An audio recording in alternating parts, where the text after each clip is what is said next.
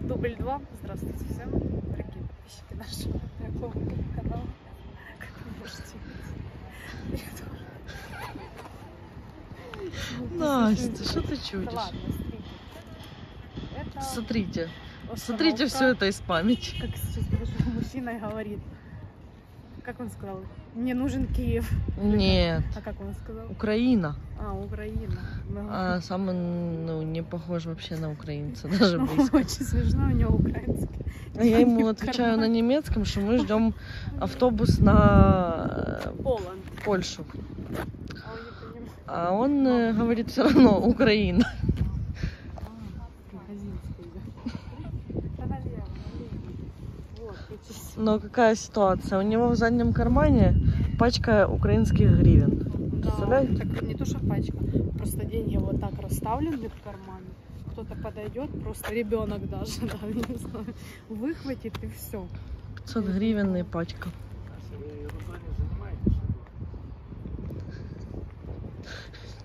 Танцы. Настя. Ой, я не могу. Успокойся, не порти мне канал. Порно ютуб канал. Смотри. И что там? Какие африканцы. Вот. Я шучу, если что. Короче, А ждем автобус. пошли африканцы? э, не знаю, 5 А, вечера. не, в чем смысл? Куда Я пошли не знаю, кто африканцы? куда пошел. но Она что рассказывает, наблюдает за кем-то. Я не знаю. Ей скучно просто. Уже половина, может, автобус Вот что мы заметили с Настей? Что здесь, в Германии, нет автовокзалов, как у нас. Вот у нас, смотрите, в любом городе, ну, практически в любом, ну, в таком, приедет. по типу Харькова, Днепропетровска, Одесса, Киев. Одесса, Киев. Э, ну, Запорожье не знаю. А- Автовокзал заходишь, можно зайти в зал ожидания бесплатный. Остановись на месте. Посидеть спокойно и посмотреть вообще направление, когда будет твой автобус, в какую сторону, платформа. А здесь вот что в Дюссельдорфе, что в нашем городе, вот, как бы просто Ну четыре таких Типа платформа. сидушечки. Раз, платформа всё. два. Ну ладно, тут поместится три платформы. Четвертая, не знаю, разве что. Ну, для четыре, четыре платформы. Ну, это как, не знаю, в селе, И нигде даже не написано, что это автовокзал. Ну да.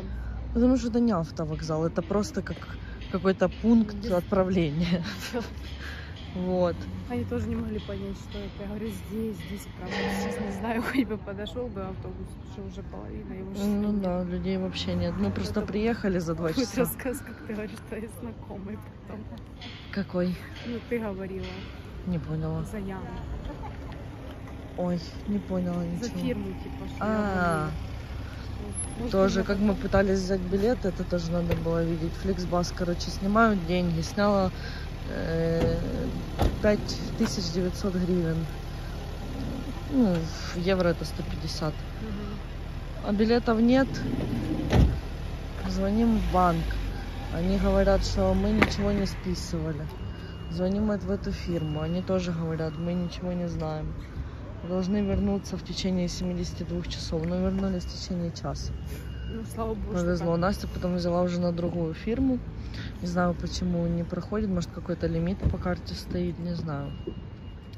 Я думаю, сейчас, может, он просто общем, уже ждем автобус. время-время хочет. Осталось еще Либо сколько? Ну сколько еще? Сейчас скажу. Еще полчасика и все. Ой, хоть бы уже Я уже буду ехать. Настя юморист. Да, я шучу, если что. Погода такое себе, не знаю.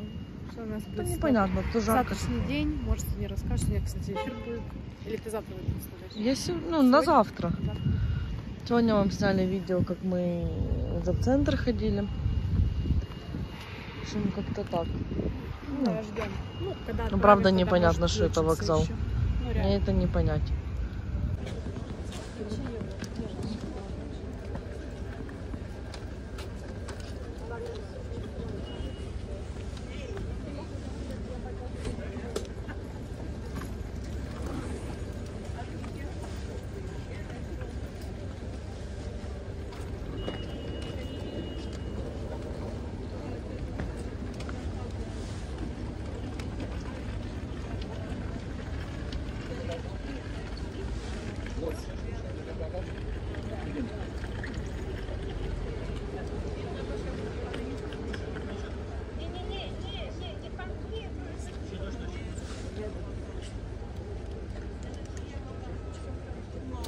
Ulica Krzysiowska, scena 233 przy autobazie.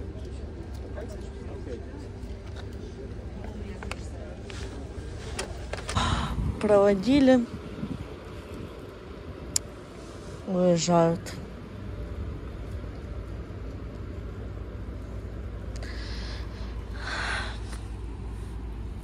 Я думала, ты плачешь. Да, что я буду плакать, ты плачь. Вот, смотрите, ребята, сегодня у нас такая паста. Ну, грех не взять по такой цене, какие какие креветки. Здесь сливки, креветочки, Сыр, сырок, орегано. орегано, масло, чесночок, И лапшичка, да. И, и креветки, смотрите, какие вкусные. Это, кстати, в азиатском магазине. Очень Реально, вкусные. по такой цене, ну, Грех не взять. очень вкусно. Очень вкусно, сейчас буду пробовать. М, Божественно, паста просто обалденная. Ане, огромное спасибо, респект ей за это. Да, ты даже не любишь макароны. Да, я вообще не люблю макароны.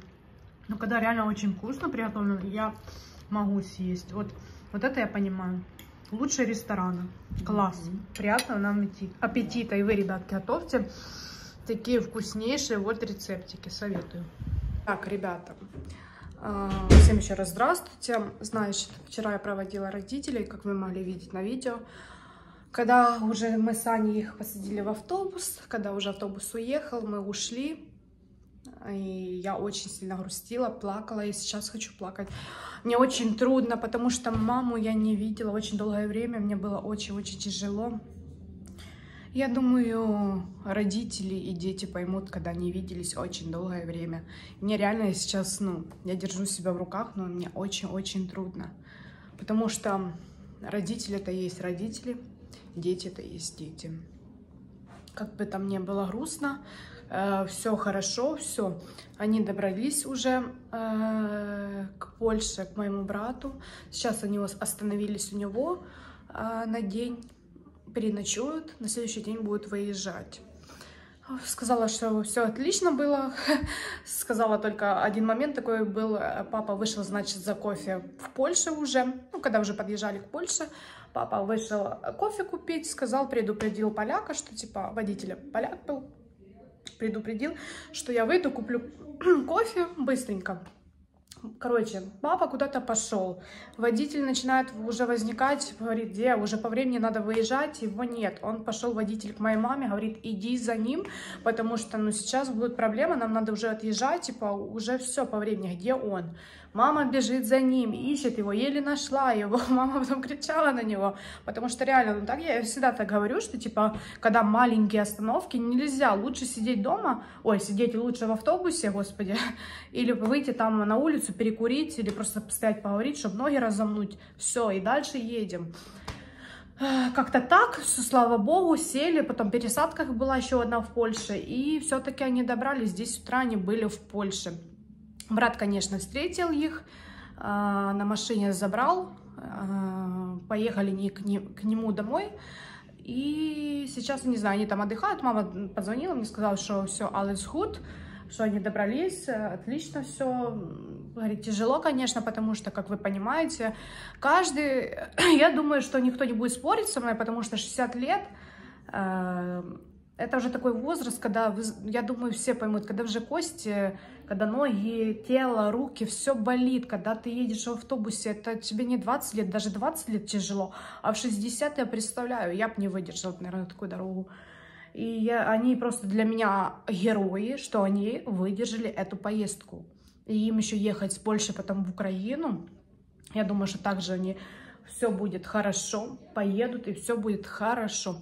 Так что как-то на этом всем, ребята, не обращайте внимания, там, что я хочу плакать, не хочу. Это естественно, их нет дочь, и мне очень приятно было, что они приехали. Мне было приятно, классно, я провела время с ними. А, Может и мало, но мне это запомнилось. Такой промежуточек, но он запоминается в голове. Хочу опять плакать. Но все, all is. Так что все, ребята, на этом все. Буду прощаться, чтобы не заплакать. Всем спасибо, всем пока. Ставьте лайк и подписывайтесь на мой канал. Пока.